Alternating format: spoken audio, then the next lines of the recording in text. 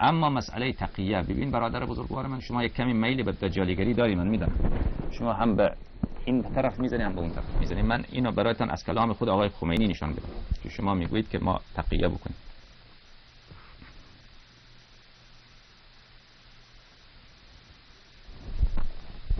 این کتاب ولایت فقی آقای خمینی ولایت فقی و جهاد اکبر. نوشته خود آقای کی؟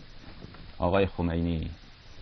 در اینجا ایشان می‌گوید صفحه 175 تکالیفی که بر فقهای اسلام است بر دیگران نیست. فقهای اسلام برای مقام فقاهتی که دارند باید بسیاری از مباحات را ترک کنند و از آن اعراض نمایند. فقهای اسلام باید در مواردی که برای دیگران تقیه هست تقیه نکنند. تقیه برای حفظ اسلام و مذهب بود. اگر تقیه نمی کردند مذهب را باقی نمیگذاشتند. تقیه مربوط فروع است. مثلا وضو را اینطور یا آنطور بگیر.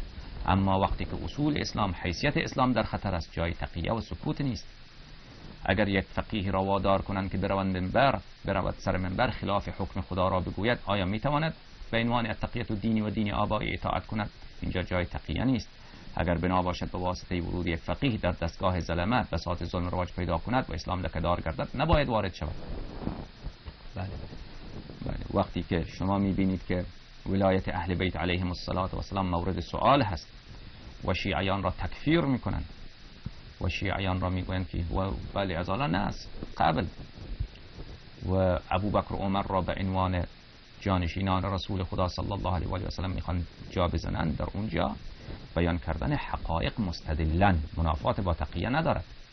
بیان کردن این که و عمر عایشه اینا مثلا نجس بودن کافر بودن و ادله کفر اینها از خود قرآن کریم از خود بخاری مسلم بیان کردن این باعث هدایت مخالفین می شود بله.